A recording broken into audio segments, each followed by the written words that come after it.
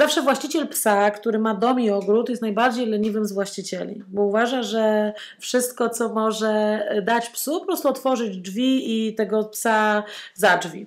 Taki spacer to w ogóle przede wszystkim nie jest spacer i on się nie liczy.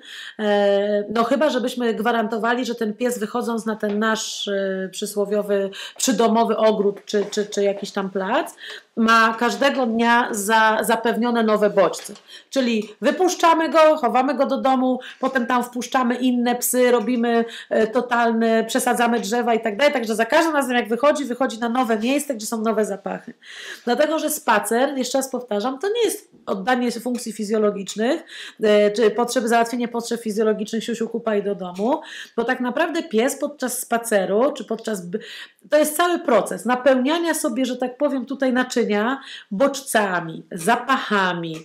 E, kto jest w okolicy, czy suka, czy pies, czy może jakaś ruja, czy może jakiś rywal, który się pojawił. To jest, to jest całe jakby życie, taki Facebook psi, tak? Facebook i te inne jakby portale społecznościowe. Jeżeli ten pies jest tylko i wyłącznie na tym, no, jeżeli jeszcze jest powiedzmy sobie ogród, czy tam hektar, to, to tam zawsze coś się znajdzie, bo tam przybiegnie jakiś, przyjdzie jeż, przyjdzie jakieś inne zwierzę, no coś się dzieje.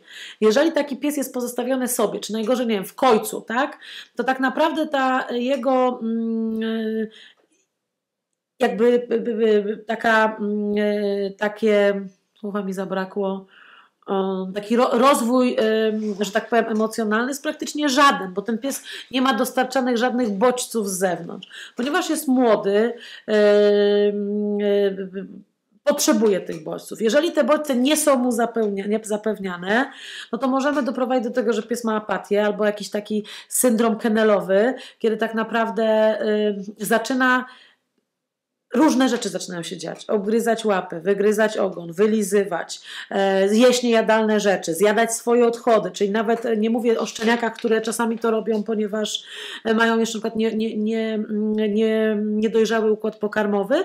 Jakby to, co wyjdzie, jest jeszcze ponownie do strawienia, no bo nie zostało wszystko strawione, to jest naturalne. Albo napatrzył się, bo psy też uczą się przez facylitację, czyli przez na, na, na, naśladowanie osobników swojego gatunku, że jak długo był z mamą, że mama tak robiła, ale jeżeli mamy do czynienia z psem, który już jest w miarę dorosły, który już tego nie robił, a znowu zaczął zjadać swoje odchody, to jest tak jakby pies tak um, troszeczkę z rozpaczy, w takiej totalnej frustracji, próbuje dostarczyć sobie jakby z zewnątrz. Um, z zewnątrz bodźców.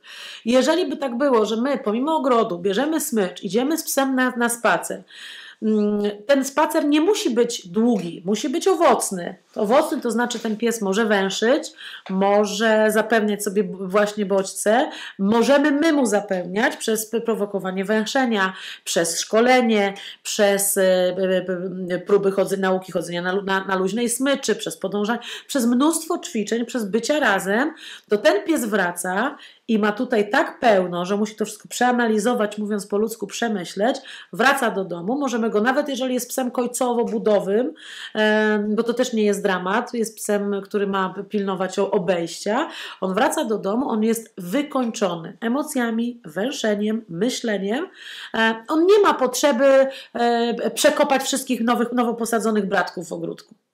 Tak? W związku z czym, jeżeli my myślimy, że pies to jest tak, jak to bardzo często, może teraz coraz rzadziej, ale kiedyś bardzo często słyszałam, to jest tylko pies. Tak, kupuję, rzucam na ogród, niech sobie radzi. No to on sobie radzi. Tylko proszę potem nie, mieć, nie być zdziwiony, że wszystkie drzewa są połamane, gałęzie pogryzione, ogród przekopany, pies jest szczekliwy, albo w kółko łazi dookoła, albo nawet jak nie ma innego psa za ogrodzeniem czy człowieka, nadal szczeka. Pies musi sobie zapewnić jakieś rozrywki, tak? Nie pójdzie do kina, nie zrobi sobie drinka, nie umówi się ze znajomymi, bo gdyby mógł, to by się pewno umówił, ale my tego, my mu zabieramy. Dodatkowo nie ma nas, nie ma żadnych innych bodźców, więc bodźce będziesz dostarczał sobie z, z zewnątrz. I wtedy tutaj jakby zachowania psa, te naszym, naszym przekonaniu irracjonalne, to jakby paleta tych zachowań jest mnóstwo.